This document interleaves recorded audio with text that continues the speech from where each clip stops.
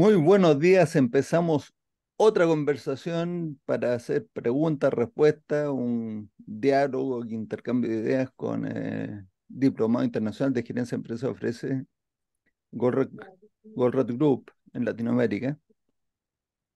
Y aquí en Chile es verano, hay un calor fantástico hasta ahora de la mañana.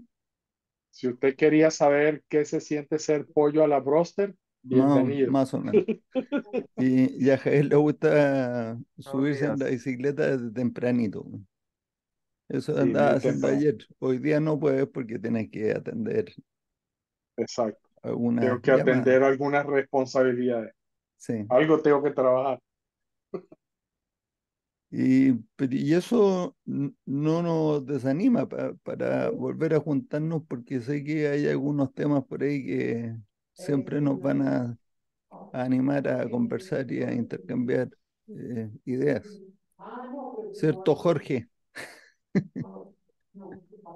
Sí, hola, buenos días a todos. Muy eh, bueno. Sí, yo, yo tengo un tema para proponerles para, armar un, una conversación en torno a ello y es que recientemente eh, nos hemos embarcado con un amigo mutuo, con Alejandro Fernández, en abordar el tema de desarrollar en torno a las herramientas de TOC una herramienta, una eh, propuesta o una oferta no rechazable en torno a una consultoría, por supuesto, alrededor de los temas de TOC. Eh, pero en general es, ha sido un ejercicio muy, muy enriquecedor eh, y hemos estado revisando pues lo que Eli Goldra en su momento en el programa satélite del, año 99 decía, eh, y un comentario genérico ahí es, sorprende ver cómo cosas, comillas tan antiguas, supuestamente, siguen teniendo una validez eh, pavorosa. O sea, parece que no le sobrara ni una coma, ni una tilde, ni una letra. Entonces, eh, habiendo hecho este, este preámbulo, el tema es que hablemos de eso. ¿Cuál es, cuál es el, el proceso sugerido, eh, experiencias en torno a ello, en relación con, con ayudar a las empresas o a las personas a desarrollar las famosas ofertas no rechazables eh, y entender qué significa no rechazable? Entonces, es, es, es un poco el tema proponer. O sea, para yo entender bien, eh, al, final lo, lo, dijiste como la última frase porque cuando empezaste, anduve, anduve entendiendo que estaban pensando eh, empaquetar algo, un producto, un servicio, para enseñar a usar los procesos de pensamiento, las herramientas de teoría de restricción, así como empecé entendiendo, pero en tu última frase entonces termino entendiendo, no señor, lo que queremos es ofrecer, como si nosotros tenemos la maquinita, la moledora de carne, ofrecer el servicio para que que quiera venir para acá, nosotros lo escuchamos, tomamos sus inputs, los metemos en nuestra maquinita y le sacamos una oferta no rechazable. Sí, ¿Es correcto? Sí, sí, es, es, es eso eh, exactamente. Es, eh, eh, nos, nos, como decimos aquí, una cucharada de la sopa propia. O sea, queremos aplicarnos a nosotros mismos las herramientas que nosotros promulgamos que deben usar las empresas para desarrollar una oferta no rechazable. Entonces, el proceso en torno a eso, específicamente en el, en el tema de ofrecer consultorías en torno al conocimiento de TOC, o sea, cómo desarrollamos una oferta eh, no rechazable o, una oferta muy deseable para las consultorías. Y, y también entender un poco más a fondo quiénes son los, los competidores, ¿no? Porque a veces, a veces uno arranca y, bueno, pero ¿y contra quién está compitiendo, ¿no? Contra otros de consultoría, pues evidentemente, de eh, consultoría de TOC, ¿sí? Otros de consultoría genérica, eh, y los nombres ya lo sabemos, los, las compañías de mayor renombre, eh, y etcétera. Entonces, es, un poco eso. Eh, yo te repito la, la, frase que viene debajo del título en Océano Azul. Sí. De hacer a la competencia irrelevante. Exacto. Entonces, un poquito de la experiencia es, y en este foro pues ya hemos discutido, creo que en repetidas ocasiones, hasta donde la memoria me da, eh, el tema de por qué TOC no es más o, no está más difundida o no es más conocida.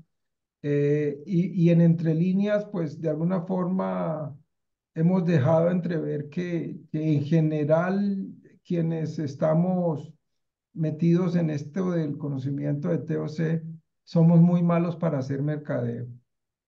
¿Sí? Esa, es eh, una explicación autoflagelante. Yo tengo otra que, que, ya estoy cada día más convencido, te lo ofrezco inmediatamente y, y todos me dicen si, si les parece que tiene o no tiene sustento.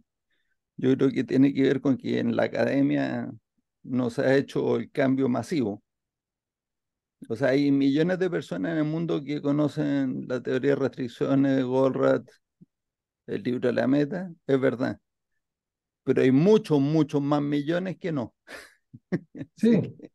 Entonces, mientras en la academia no se haga el cambio, eh, tú tienes un sistema que es una gran máquina que está repartida por todo el planeta, que está entregando cada tantos meses personas entrenadas que después son contratadas en las empresas y para administrar las empresas con una serie de supuestos y creencias que son antisistémicas y que por tanto para administrar un sistema pues lo que hace es meterle palos en la rueda. Pues. Sí, entonces eh, eh, no es que nosotros seamos muy malos haciendo el marketing. No, no es eso, es que eh, somos un cuerpo extraño que eh, lucha contra el sistema inmunológico del resto. Somos una gotita de agua en el océano, como tú quieras. Que a la larga los terraplanistas, que eran mucho más, terminaron siendo menos. Yo creo que eso va a pasar. Pero por mientras, pues tenemos, nosotros vivimos hoy en el año 2024 en esa situación que yo acabo de decir. Sí, y, pero... hay que mirar entonces eso como la oportunidad, porque la oportunidad es que justamente lo que tenemos es diferente y correcto. Estamos ofreciendo que la Tierra es redonda cuando todo el mundo dice que es plana. Pero el problema que, que bueno, el, el tema que yo estoy ofreciendo es como experiencia alrededor de desarrollar eh, ofertas no rechazables, ¿sí? Eh, y en este caso en particular eh, es la medicina para nosotros mismos. O sea, eh, en, en, el decir que pues que la academia nos lleva kilómetros en cuanto a los adeptos, yo creo que, que esa discusión no, no tiene soporte en el sentido de que nos ganan la carrera antes de comenzar, ¿sí? y lo segundo, pero también es el fondo de entender que, que si nuestras herramientas son tan poderosas y nuestro proceso tan correcto, ¿por qué, por qué no, no somos más eficientes con una propuesta de consultoría específicamente para ayudar a las empresas o a las personas? ¿Ya? Pero si somos, yo te lo puedo decir por experiencia propia.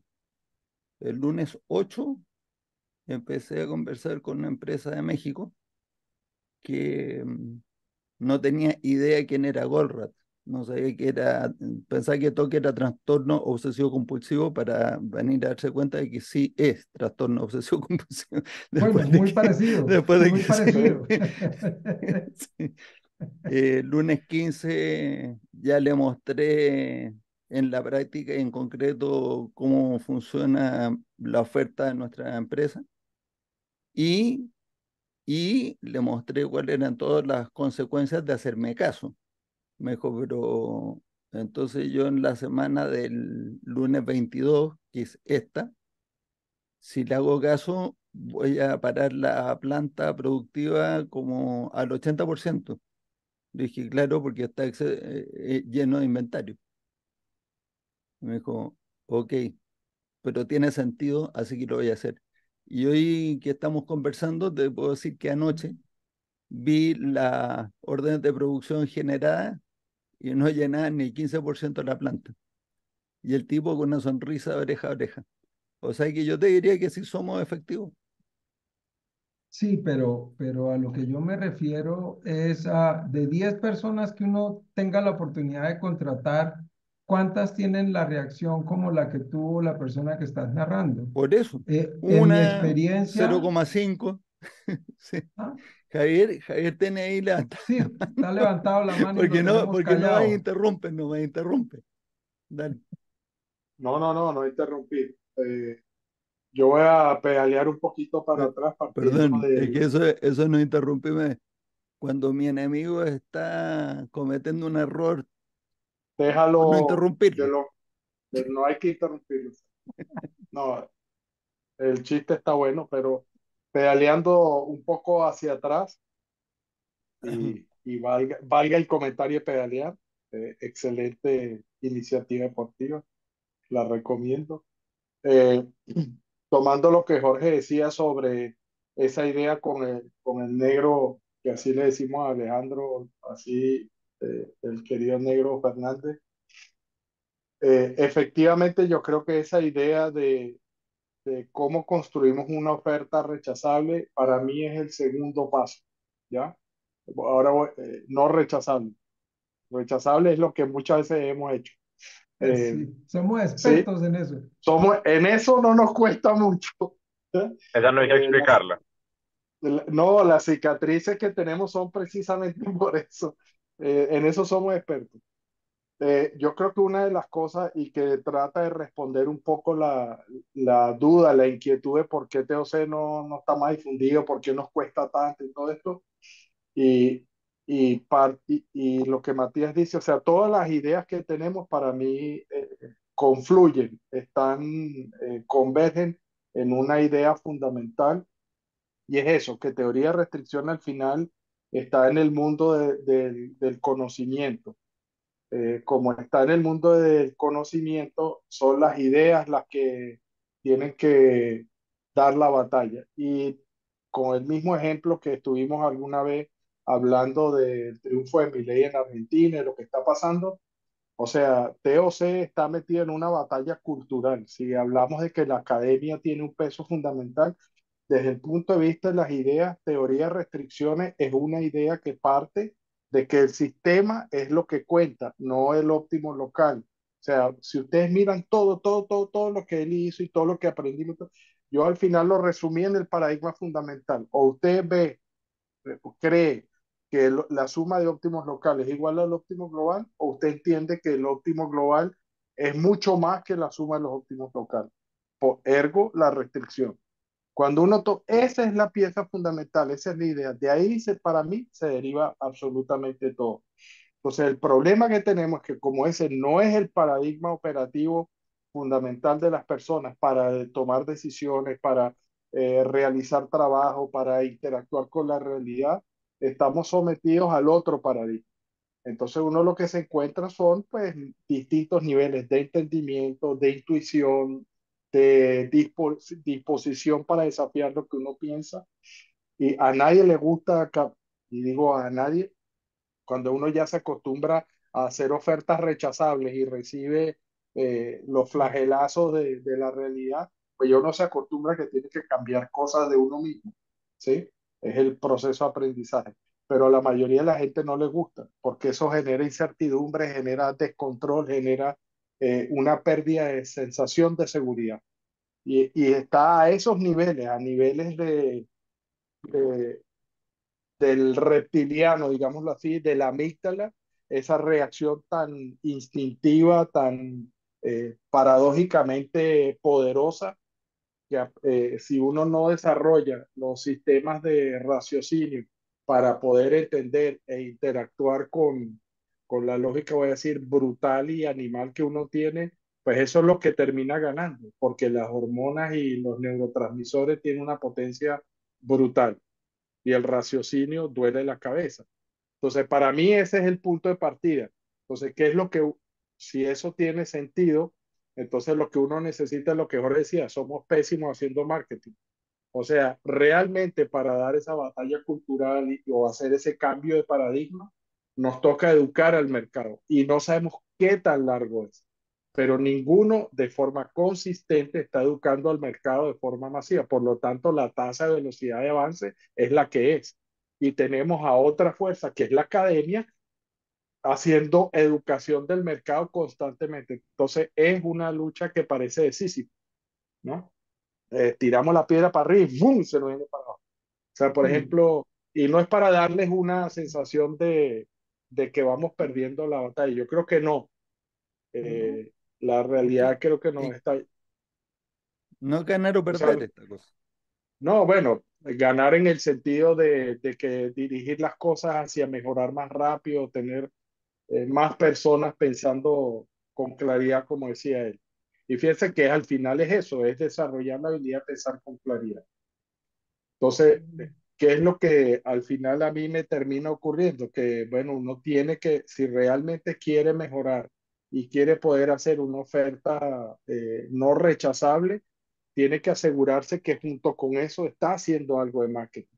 Porque la manera como uno consigue entre educar el mercado y todo eso es tener autoridad, o por lo menos que la gente reconozca que hay una autoridad con la que están hablando, como para decir, pausa, escucho, entiendo, asimilo y después reacciono de una manera distinta. Pero muchas de las reacciones y las fallas, en mi experiencia por lo menos, eh, acumulada después de tanto reflexionar tiene que ver con que la gente ni siquiera sabe quién es uno y es ese tipo de cosas, o que piensa que uno es uno más de, de muchas otras cosas que hay y que todo da lo mismo porque al final cualquier cosa mejora, etcétera, etcétera, etcétera, etcétera. Entonces, cuando, para terminar, dos anécdotas muy breves, ¿sí? como decía Matías, cuando uno encuentra una situación donde se encuentra con una persona que voy a decir así, eh, neuronalmente está absolutamente dispuesta a, a absorber una respuesta que le suena lógica, la persona en dos segundos, no se demora dos segundos de decir, esto es, toma la decisión y se va, lo que le pasó a Matías. Estábamos hablando con una compañía eh, multinacional grande y dos, tres reuniones y nada, cero. O sea, eh, la muja no se movía para nada. Y entonces dijimos, ¿sabes qué? Como viene ahora el periodo de, de vacaciones de Navidad, para que no perdamos tanto tiempo y no sigamos insistiendo algo que no parece estar llegando la señal, léase estos dos libros. Si usted se los lee y le parece que tiene algo interesante, hablamos. Si no, olvídese que existí. No, no hablamos más. Pasado diciembre, ahora mediados de enero, eh, recibimos una comunicación de que ya no es que vamos a hablar, sino que cuando empezamos a implementar. Y nosotros no hicimos absolutamente nada. El director se leyó la meta y después se leyó cadena crítica y, y fue suficiente para él, con la experiencia que tiene. Entonces uno dice, carajo, sí se puede, ¿no? con la lectura de los dos libros ya estamos hablando de ir a implementar y hacer cambios en la empresa. Entonces, es uno. Otra cosa que, que, que, me sigo sorprendiendo y espero nunca dejar de sorprenderme. Eh, yo puse en Google hace, ya son casi, desde que existe Google y esa herramienta existe, de que me avise cuando hay una publicación que dice trastorno obsesivo compulsivo, no, TOC, teoría de restricciones o GOLRAD en cualquier parte del mundo. Y me llega un, un aviso que hay un, post en un blog de alguien y, y lo voy a ver, me sonó interesante. Oh, sorpresa, resulta que está describiendo la implementación y el uso de, de DVR y de cadena crítica en un ambiente de fabricación de locomotoras y trenes. Digo, ¡guau! qué cosa tan interesante. Pues más o menos eh, eh, hemos tratado de hablar varias veces y la mayoría del, de las empresas son o japonesa, alemana, francesa, española y estadounidense. O sea, General Electric es una de las de la grandes. Alstom es la francesa y así. Eh, y resulta que el, el man está viviendo en Bucarest, en Rumania. Y ahí, ahí sí es verdad que la perdí todo. Pero ¿cómo este tipo que está hablando de esto implementar en Bucarest, en Rumania, ex, eh, sí, bloque de hierro ahí alineado con Rusia, después que se cayó en la pared? O sea, me empezaron a pasar varios días en la... Total que agarré, fui a LinkedIn, lo, busqué y efectivamente el tipo trabajó en Alstom, que es la compañía francesa, es un francés, y le escribí y le dije, Didier, puedo eh, utilizar este artículo y me encantaría traducirlo y publicarlo en el blog de nosotros. Bueno, hace dos días decía, no, ¿cómo que lo vas a traducir? Hablemos. Entonces nos comunicamos por Zoom y estuvimos conversando. Y me encontré una persona fascinante que empezó a, se encontró con el libro La Meta, se tropezó así de boca, estaba en Alstom haciendo fabricación de trenes, me decía, estamos, pero totalmente perdidos nos demorábamos casi 24 meses para fabricar una locomotora. Leí el libro y dije, no puede ser, no puede ser, y empecé a desafiar, a desafiar, a desafiar. Terminamos entregando eh, locomotoras en Alstom en 11 meses, cosa que todavía nadie vuelve a hacer. Después me ofrecieron que fuera a manejar un joint venture. Estuvo por varias partes del mundo, pero después estuvo en un joint venture, eh, llegó a Rumania para manejar una fábrica de locomotoras y precisamente, y creo que ahí se casó, estuvo la CIA y se jodió, se quedó en Rumania, ¿ya? Pero total que es fascinante, entonces me empieza a hablar y le digo, bueno, ¿y, y, y ahora qué estás haciendo? Ya está retirado, entonces es presidente de una fundación donde lo que le interesa es ayudar a, a difundir el conocimiento de TOC pero a través de programas de bienestar para la educación y para la gerencia de las empresas pymes y todo eso. O sea, una persona fascinante. Y después estamos hablando, hablando, y después me dice, ¿qué haces con esa camisa? Ayer tenía una camisa de los All Blacks, ¿no? De rugby. Pero bueno, resulta que jugó rugby también. Ya pasamos otra hora más hablando.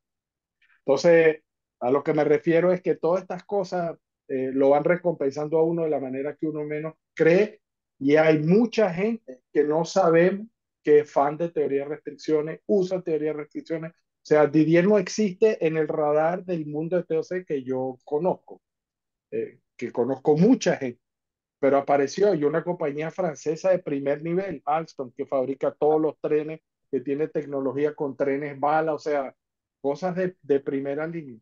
Entonces me sentí muy bien por él, para decirle, puta, ese libro realmente le dio en la torre a, más, a mucha gente y todavía le sigue. Ahora él quiere escribir otro libro para ayudar a difundir las ideas de él, y, o sea, fantástico. O sea, puras cosas fantásticas en ese sentido. Eso es lo que quería pues compartir, que no estamos tan mal como creemos, pero estamos No. re que te... Pero, como pero fíjate, fíjate la historia que acabas de contar. En- mientras estaban aplicando las ideas que vio él en la meta y, y, les permitió ir mejorando en Alstom y recortar el time de producción y demás, todo ese conocimiento iba siendo estratégico y, poco menos que secreto. O sea, ojalá que nadie más supiera en el mundo esta cosa. Yo eso es lo que ha pasado muchas veces. Entonces, súmale, o sea, suma ese elemento, hay que los que sí queremos que se sepa, no contamos normalmente o siempre con la colaboración de los que lo están aplicando y están sacando ventaja de él. Eso también algo. va cambiando, eso también va cambiando porque aquí yo conozco algunos que están acá que, que han hecho el testimonio eh, público en video, en, al muy poquito tiempo de estar aplicándolo y mostrando los resultados que tiene. Y ni así lo copian, así que lo mismo. ¿Alguien hizo? Ah, Daniel. Quería aclarar, quería comentar algo que me, ha pasado, eh, que es probable lo que dice Javier, que una persona se ponga al frente de, de todas las ideas y en algún momento, como puede pasar en este caso, se retire y el sistema queda funcionando, pero después, como decimos en la, en las universidades, siguen saliendo gente que, que es como una avalancha de mal conocimiento que va entrando a las empresas y vuelven todo para atrás. Eso es- también es un problema porque eh, no se mantiene porque el conocimiento no está instalado, está nada más que instalado el, el conocimiento de esa persona que hace que, digamos, la toma de decisiones es en, en el sentido correcto, digamos, según nosotros. Y después aparece alguien que dicen, no, ¿cómo están ahogando la salida de materiales? ¿No ven que hay mucho tiempo de espera entre las distintas máquinas y vuelve otra vez a la misma? Y después no sé, han llegado a decir que eh, la suba de costos es porque están apli- aplicando teoría de restricción. Pero y tienes razón, porque depende de cómo tú los calcules, efectivamente puedes calcular un costo mayor. Así que es verdad. Entonces la dirección dice, bueno, saquen esto. pero, es, pero es verdad que el costo es mayor en la realidad, esa es la pregunta. Eso es lo que yo, yo, yo ahí hago judo, o sea, nunca le digo, no, no, el costo no es mayor. Le digo, sí, el costo es mayor, pero estás calculando el costo que tienes que calcular. Claro.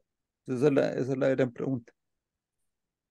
Pero la pregunta, la pregunta original o la- el tema de conversación original que ya levantaron la mano aquí Jorge y Daniel. eh, ¿quién, quién estaba primero? Ya, denle, denle usted. Yo iba a retomar lo que Jorge había hecho al principio como para colaborarle, pero Daniel, está con el, mi- está el micrófono apagado, Daniel. Ah, bueno, hola. Que con respecto a lo que hemos hablado y respecto a la pregunta inicial, porque digamos que por un lado pues está lo que, lo que decimos de la academia y, y que TOC no es como el, el conocimiento estándar, por decirlo de alguna forma, pero la pregunta de Jorge creo que va más allá de eso, porque en mi experiencia no conozco el primer caso en el que a alguien le expliquen teoría de restricciones o digamos los fundamentos de teoría de restricciones y que después de oír la explicación bien dada sea capaz de contradecirlo. Casi siempre, casi siempre, cuando la gente ve, le explican teoría de restricciones bien, se da cuenta que, que tiene sentido, que es verdad y que, y que el otro paradigma es el que está errado. Pero aún así, eh, como decía Jorge, aún así de, de 10, de 20 prospecciones que se hagan, una sale adelante. El resto, aunque quedan fascinados con el conocimiento, muchas veces hasta ahí llega, no pasa, no pasa nada, entonces, entonces hay un fallo en ese proceso de creación de una oferta irresistible, porque pues hay algo que no los está, que no los está convenciendo, o no los deja dar como ese paso eh, adelante, y, y creo que la pregunta pues inicial iba como en torno a eso. Sí, sí, en realidad, eh, digamos que, estamos claros que seguir haciendo esfuerzos hacia que más gente y, y compañías conozcan que TOC existe y que está ahí, que no es el trastorno obsesivo compulsivo, o bueno, sí lo es, pero no lo es, etcétera. Sí, Que sí es un poquito más en lo último que está diciendo Daniel, de, de algo está fallando en las propuestas que estamos haciendo en el sentido de, de la proporción de conversión. O sea, de 10 que uno puede contactar por cualquier razón, logras, con, logras que uno del paso, uno de 20 o qué sé yo. Entonces la, el cuestionamiento comienza a ser, oiga, ¿qué pasó con los restantes 19? Sí, o sea, si, si es tan poderoso y claro, no todo el mundo es igual y ese tema de que la oferta no es rechazable es una cosa bastante relativa en el sentido de Algún loco perro verde va a decir que no a, una oferta muy rechaz que muy eh, favorable, ¿sí? Eh, pero alguien va a decir que no lo quiere, ¿sí? Y digamos que eso, eso eh, reforzaría el tema de que no es rechazable, ¿ya? Pero, pero sí es eso. Por un lado, el, el, otro origen es eh, el, tema del mercadeo, pues eh, ese resolvería la pregunta es ¿por qué no tenemos suficientes patos en la tubería? ¿Sí? Pero a pesar de eso, los pocos patos o los muchos patos, depende de, de, de, de quién esté hablando, que llegan a la tubería, eh, digamos, eh, hay de todo, como dice Matías, una persona que en cuestión de una semana dice, mmm, eso es, ¿sí? Pero la verdad, es, esa es una excepción bien rara, bien eh, por lo menos en mi experiencia, o no sé si es el problema, es el remedio que estoy dando la enfermedad al otro. El otro tres. paralelo ahí eh, es el tema de, que ha surgido pues en esta discusión, es el tema entre eh, tenemos que enseñar o hacer consultoría y se nos ha venido a la cabeza el tema de lo que Goldra en su momento decía, es que entre enseñar y hacer consultoría hay un conflicto pavoroso. Yo, yo nunca oí de él una explicación en torno a eso, pero, pero ahora estoy comenzando a entender que sí, que ese conflicto es muy tenaz porque eh, eh, en los dos perfiles distintos de, de, las personas, al que le gusta enseñar es el profesor y eso es el, el método y la flechita y la así y, y, esto. Al que le gusta hacer consultoría es, señor, venga, haga estas dos cosas. Y entonces, eh, uno toma mucho tiempo, sí, que es ens enseñar no es un tema de, de tómese la pildorita y aprendió, no. ¿Sí? Y, y el otro es resultados me parece a mí, ¿ves? Entonces, eh, es un poquito la inquietud, eh, por ejemplo, ah, para, para sintonizar la cosa, mm. si, si me permiten, eh, como, el, como el proceso sugerido por, por, por Goldratt, es arranque con los efectos indeseables del siguiente eslabón o su cliente, ¿sí? Uh -huh. y, y, a partir de esos efectos indeseables del cliente, porque es que la tendencia es a escribirlos de uno, ¿no? los, los que tiene el cliente en la relación con usted. Ese es el punto de partida. Y, y después de ahí, eh, es, esa, esa frase es mágica, que tiene en relación con usted, porque para que usted pueda ofrecer algo, usted tiene que ser el causante del problema. Eso es muy poderoso. Y entonces, a partir de ahí, por ejemplo, eh, uno de los efectos indeseables que yo escribí haciendo ese proceso, y bueno, y después viene el proceso de consolidación de las nubes y luego la escritura del, del árbol de la realidad eh, actual, en menos de dos páginas, como dice el mismo Goldratt, más de dos páginas, usted no sabe de qué está hablando.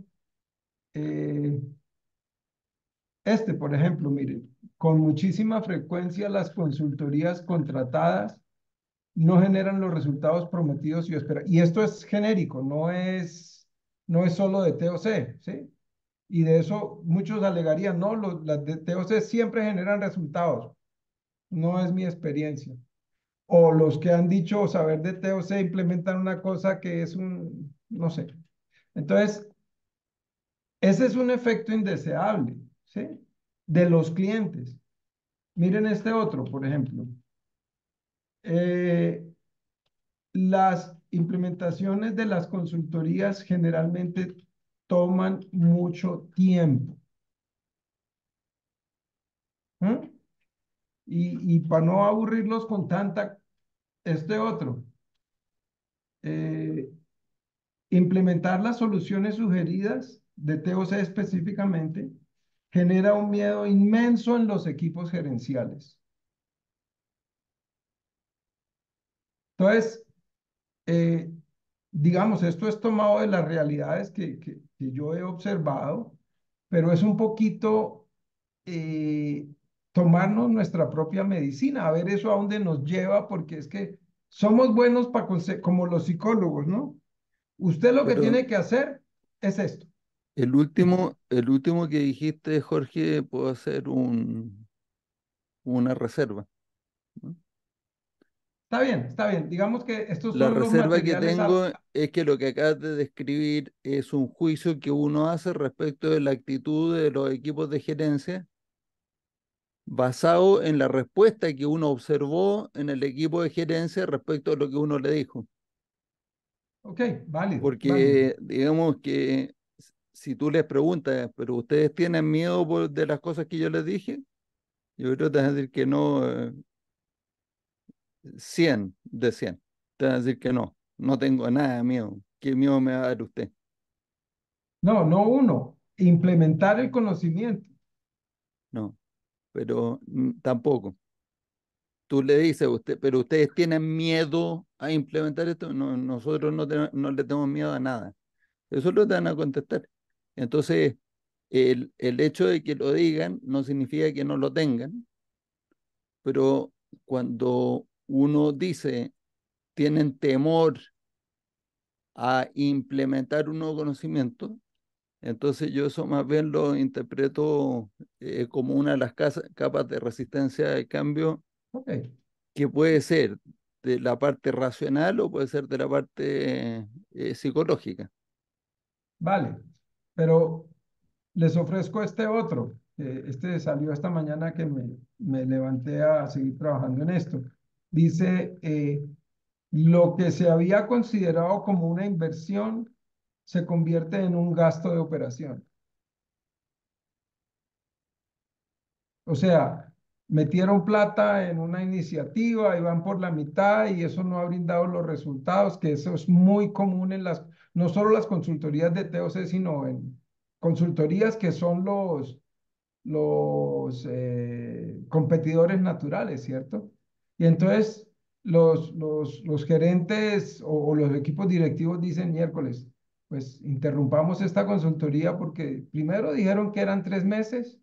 La meta dice que en tres meses se logra resultados, vamos por seis y no hemos visto.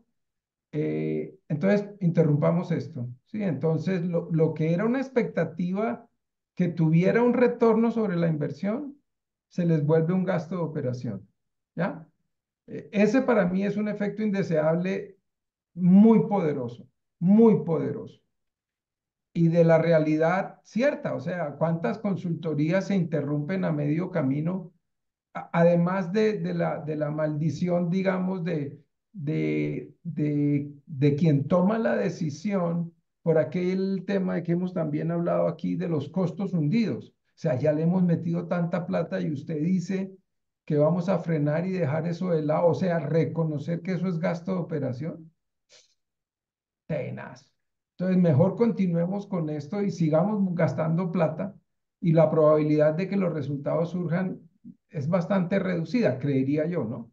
Entonces, para darles como un sabor alrededor de, de, de lo, de lo que estoy proponiendo es, esas son las cosas que tenemos que analizar nosotros mismos al interior de nuestras propuestas, eh, a ver cómo eh, mejoramos esa capacidad de conversión de que de cada 20 no sea uno, sino sean por lo menos tres o cinco o diez o los que sean, ¿sí?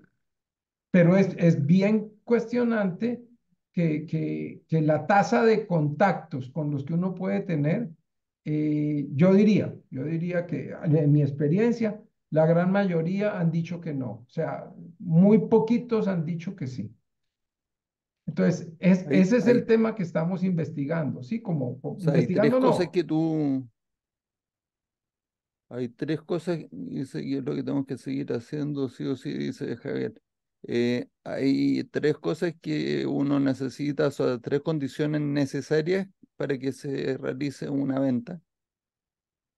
No te, o sea, yo creo que podrían ser suficientes si sean las tres para que se realice la venta, que, que es válido para cualquier oferta, no solamente de nosotros, ¿no?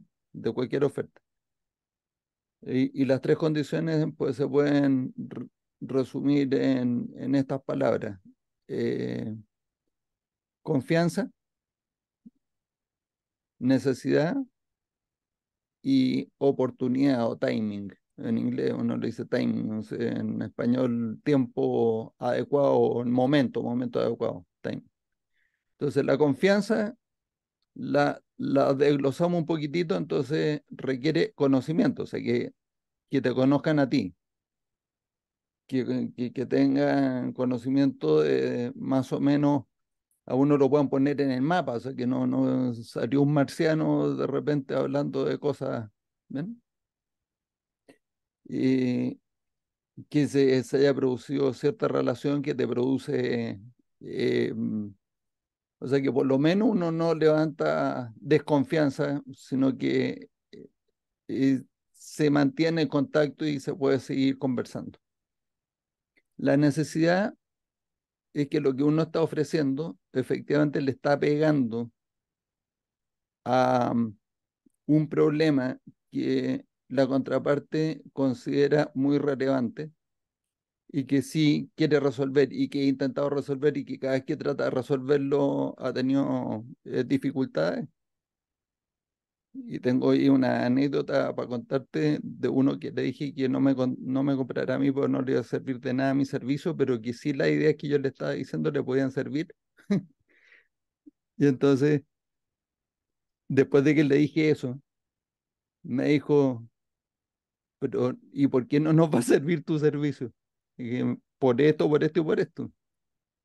Ármate tu, tu planilla Excel y cada vez que tenga alguna duda, llámame. Mejor no te quepa la menor duda que te a estar llamando todo el rato. O sea, creció más la confianza cuando yo le dije, mira, tú tienes esta necesidad, pero yo no te la puedo satisfacer a menor costo que la alternativa. Ahora, si tú no estás dispuesto a trabajar, todo esto es implícito. Si tú no estás dispuesto a trabajar en la alternativa, tampoco vas a estar dispuesto a trabajar en la mía. Por lo tanto, tampoco me interesa que me, me acepten mi oferta.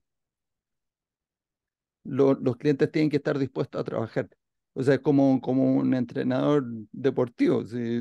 Puede ser el tipo un genio, pero si el deportista no le hace caso, bueno, es que no tengo los resultados, pero si no hacen las cosas que te digo, ¿qué quieres que te? Ya, entonces la necesidad tiene que pegarle a un, a un problema que lo reconozcan como tal, que sea premiante, que lo han tratado de resolver, que no han podido, y, que sea una piedra en zapato y que está ahí. Y luego el timing eh, tiene que con que sí, pero hoy día estoy implementando un ERP. Hoy día está la mitad de la fábrica de vacaciones. Hoy día está y así. Mil explicaciones de por qué hoy no es el momento adecuado. Entonces yo, gran descubrimiento, el agua tibia con Javier lo conversamos alguna vez, le dije, es que lo que, lo que tenemos que lograr es que nos llamen. Si nos llaman, ese es el momento adecuado para esa persona. No es que sea solo cuando te llaman el momento adecuado, o sea, uno le puede pegar, pero ¿cuál es la probabilidad de que uno llame a una empresa y los pille en el momento justo donde están todos alineados los astros para que te digan, perfecto, gracias por haber llegado hoy? Normalmente no es así. Que interesante todo lo que usted me está diciendo, que nosotros estamos metidos en tal iniciativa, estamos haciendo esto otro, porque no hablamos en tres semanas. Y tres semanas enfrían cualquier cosa. ya, ya me pasó. El año pasado me dijeron, era mayo, me dijeron, en septiembre empezamos. Le dije yo, perfecto, hablemos en septiembre. Entonces, por agosto le escribí, le dije, ¿qué tal cómo va con la cosa de septiembre? O sea, para empezar en septiembre. Dice, uy, no, el proveedor se nos atrasó, nos mandaron a decir que se iban a demorar hasta diciembre en mandarnos la máquina, que era la condición, no sé qué. Dije, perfecto, en noviembre hablamos.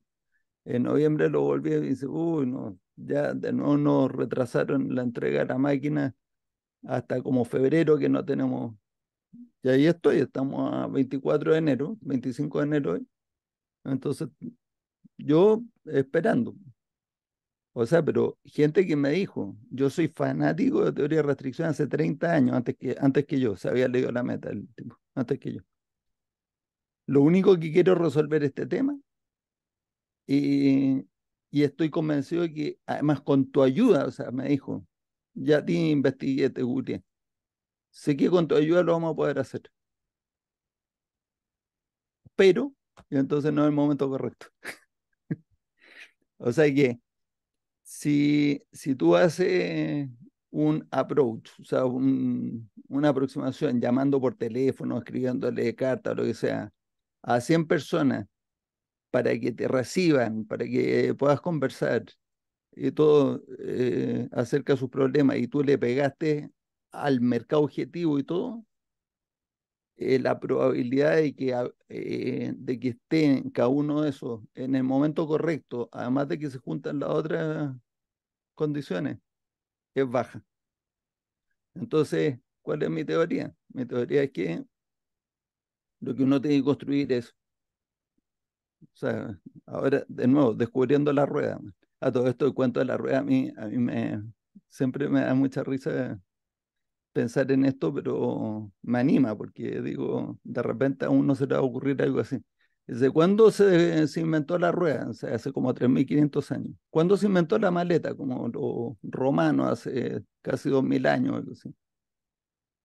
¿Cuándo se inventó la, la maleta con ruedas?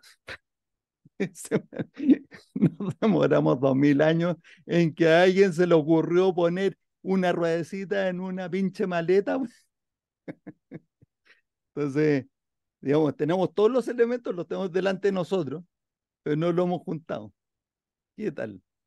Eh, bueno, entonces, ¿qué es lo que yo pienso? Que si somos capaces de poner un, un mensaje allá afuera, repartiéndolo, repartiéndolo a mercado objetivo seleccionado.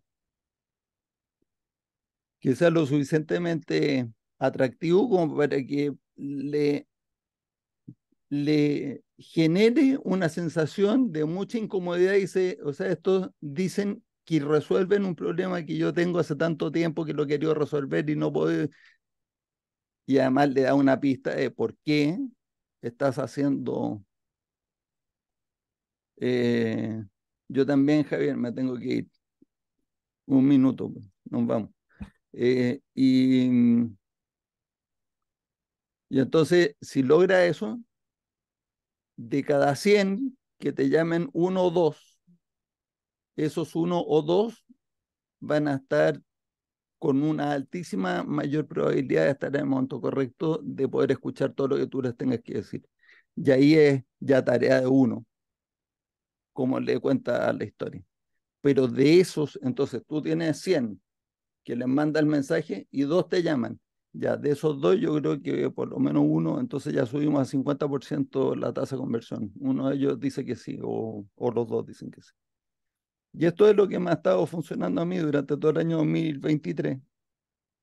Y ahora, el 2024, empecé con una racha.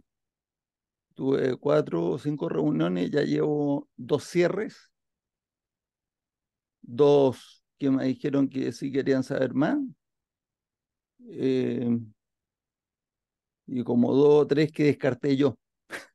Les dije, esto a ustedes no les sirve. O sea, sí les sirve el conocimiento, vayan y aprendan todo lo gorros, pues no les sirve nuestro servicio. Y no les sirve nuestro servicio porque yo no se los voy a vender al precio que lo vendo, cuando yo sé que ustedes lo, pueden obtener los mismos resultados mucho más baratos. Y lo agradecen mucho. Pero bueno, eh, yo había entendido, o sea, todavía tengo la duda, Jorge, cuál fue el tema planteado. Si es que es cómo estructurar todo el servicio para cuando te compren o cómo estructurar la oferta de uno para que a uno le compren el servicio de estructurar las ofertas.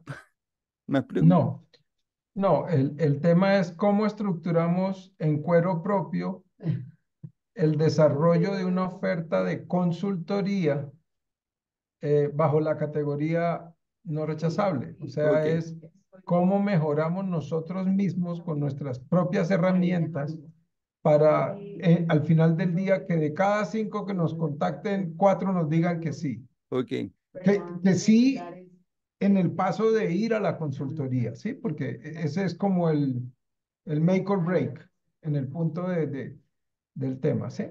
Bueno, yo, yo creo que te contesté bastante respecto a lo que yo opino en cuanto a por qué la tasa de conversión es tan baja y, y muchas veces son factores tan fuera de nuestro control. O sea, no, no tienen nada que hacer. No, tú no puedes ir a obligar a alguien eh, a decirle, oiga, revisa sus prioridades. Nuestro proyecto es el número uno. ¿Cómo le, cómo le va a decir eso? tiene que ser voluntario. Pero mm, eh, hay varios de los efectos indeseables que dijiste. El único que te cuestioné es cuando hace uno un juicio respecto a la actitud que, o sea, yo escarbaría en ese efecto que dijiste tú, que los equipos gerenciales tienen miedo. Hay que escarbar un poquito más cuál es efectivamente el factor que, que, produce el miedo. Y yo creo que es la resistencia típica que se produce cuando uno no tiene claridad cuál es la solución, cuáles son los efectos negativos que se pueden generar con la solución y cuáles son los obstáculos que hay que superar. O sea, la, la típica. Y luego está todo el tema psicológico y esto quién lo ha hecho y usted está contradiciendo autoridades que yo respeto mucho y, y, y es que ya tomé otro camino y, y, y, tengo que hundir ese costo y o sea, todas esas cosas que ya conocemos. Pero sí. bueno, estuvo, estuvo bueno, yo, yo también me tengo que ir porque Javier se excusó porque tenía una llamada y yo también tengo una llamada.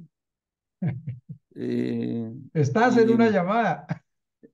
Sí, tengo una llamada de venta ahora. Ok. Y, okay. Y, y, yo agradezco mucho todas las cosas que hemos conversado porque pues, me pone más alerta para ver cómo, cómo hago los primeros cinco minutos de la próxima llamada. no meter la pata. bueno, le, a ver, en el chat, cosas que dicen. Nada, dice Javier que se tienen que retirar. Eh, ahí Bruno dice, bueno, una vida seguir compartiendo con paciencia y perseverancia en nuestras experiencias con resultados, todos nuestros casos terminan bajando a tierra, este gran cuerpo de conocimiento y con resultados se baja la barrera de los escépticos de las teorías. De acuerdo. Eh, solo que los resultados se dan cuando la gente hace las cosas que tiene que hacer.